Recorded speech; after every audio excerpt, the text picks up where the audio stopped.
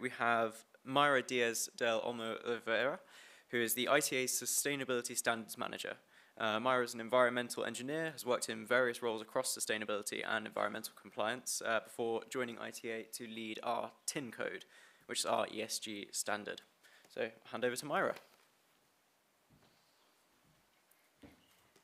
Um, hi, everyone. Um, well, yeah, final presentation of the day, very exciting topic, sustainability. Um, well, I think just to, uh, before starting, I, I feel very excited when I talk about or hearing about um, sustainable mining. So I've been working in mining, including exploration projects since I started working. So hearing uh, more about what all these projects and companies are doing related to ESG is very interesting, and I really appreciate that. So, so yes, yeah, so um, I'm just going to introduce you to our ESG um, standard and reporting tool, which is the TIN code. Um, some of you are familiar with it, some are not, but um, yeah. So just to start, maybe I am going to start with um, talking about representing our members and companies that are already reporting the TIN code. These are um, 12 companies that are based just around the globe. Like, so we have some companies already reporting from South America, Africa, Europe, um, Oceania, or the Asia-Pacific area. So, yeah, these are major um, TIN producers. So they report as part of their membership. So you can find also the reports in our website. But it's more about the TIN code. So what makes us or the TIN code different compared with any other ESG or sustainability standards? Because I think that, as many of you are aware, there are some other um, ESG or sustainability standards um, well, related to for, for mining, for the mining industry. So we started um, working on the TIN code was launched in 2018. So we have been promoting ESG disclosure, ESG performance disclosure um, since 2018 with um, our members or the companies who started reporting the TIN code, and we have um, five years working on, on this matter. Um, something about the TIN code is that this is a standard tailored for the tin industry, and it takes account um, companies of all sizes, and also, um, yeah, we. This is not, for example, if you compare it with any other sustainability standard, um, this our TIN code um, considers and takes into account expectations related to the tin industry properly.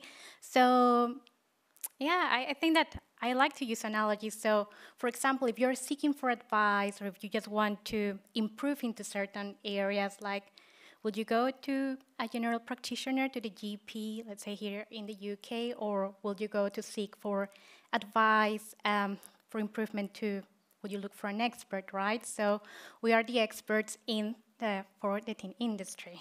Um, all our reports are focused in progressive improvement and they include a progressive approach.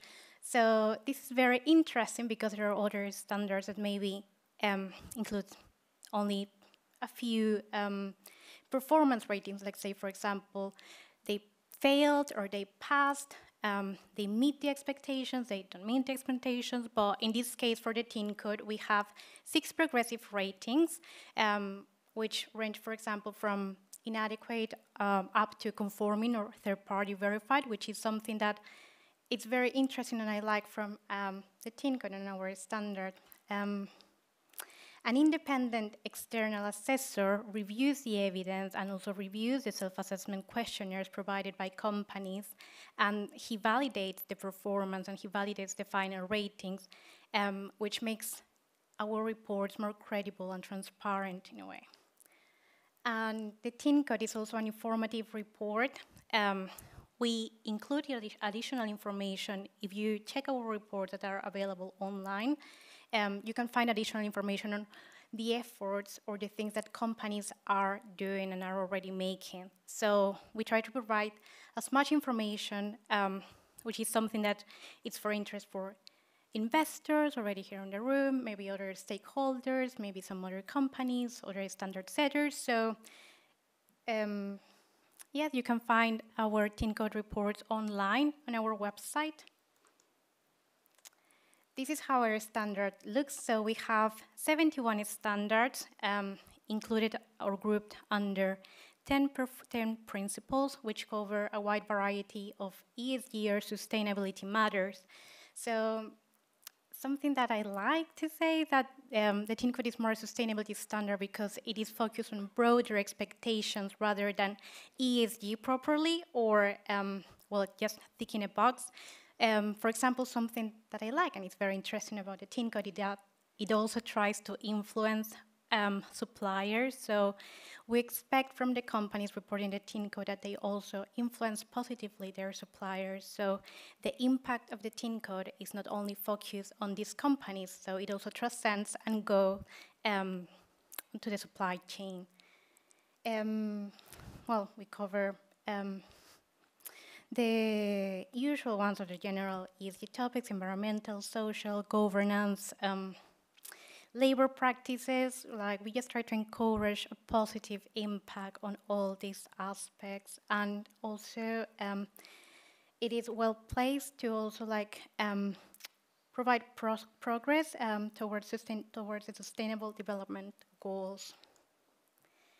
We're also expanding the TIN code. So um, since this year, companies or E&D members um, can start reporting the TIN code. Um, there are already um, miners and smelters and recyclers that are already reporting the TIN code. So from this year, explorers and developers.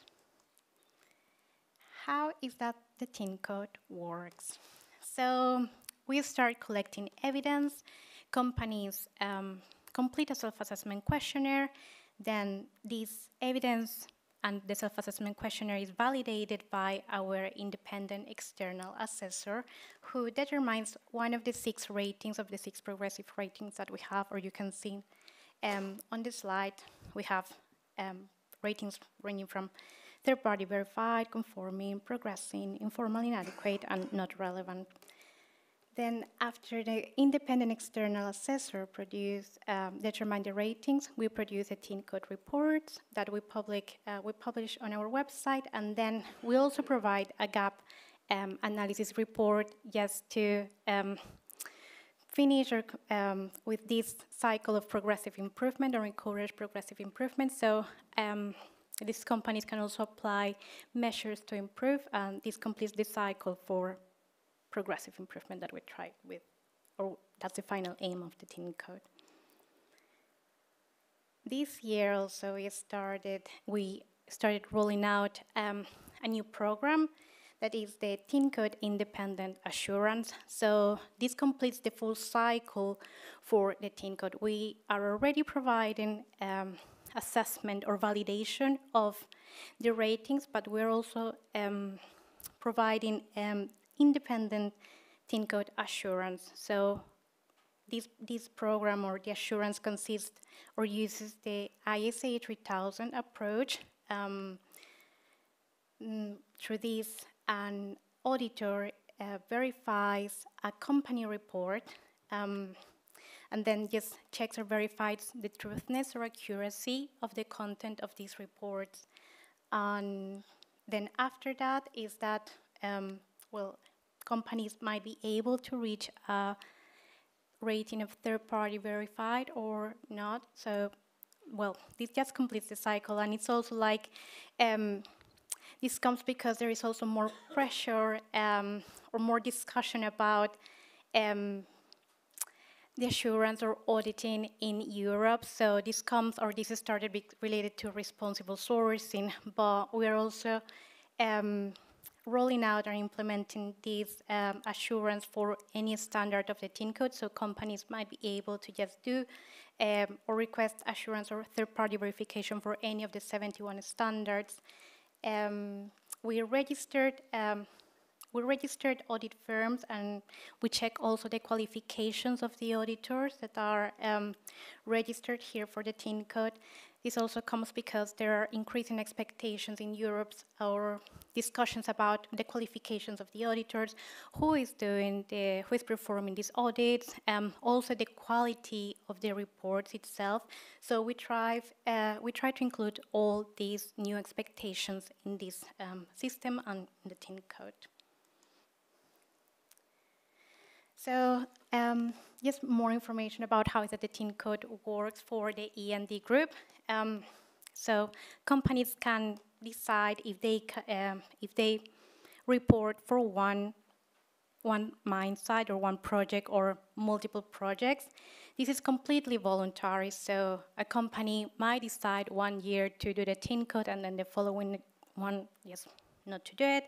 Um, so companies decide. Um, we start, um, or companies start by completing a self-assessment questionnaire. Um, then they send back to us um, this self-assessment questionnaire completed. Um, it is reviewed by the independent external assessor, and then we also provide guidance in terms of um, examples of evidence that companies can submit. And, and, at the end of the process, we also um, provide a gap analysis report so companies can maybe just note what are the things that are missing, maybe some gaps, and also improve. Well, as I mentioned before, our TIN code reports, um, you have an example there, um, are available on our International TIN Association website, but we're also working on developing a new TIN code website, and in the future you can find all the reports available there. You don't need to register, you don't need to provide any kind of information, Yes, everyone um, can download these reports online. TIN code reports are also used in some market platforms, in this case for us, for the LME um, passport. So we have an example there. This is part of the sustainability credentials of some of the companies. And yep, companies just, just can check this information online if you um, register log into the LME platform. And we are continuously working and engaging with some other organizations to um, drive harmonized standards for the TIN code industry, but also like to discuss any other kind of sustainability matter and topic.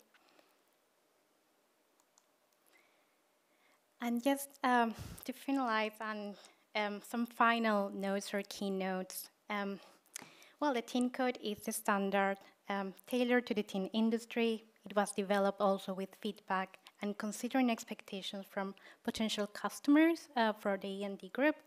It is already used and supported by major tin suppliers and well, companies or E&D uh, companies have the opportunity to be seen as industry leaders on ESG and sustainability through the tin code.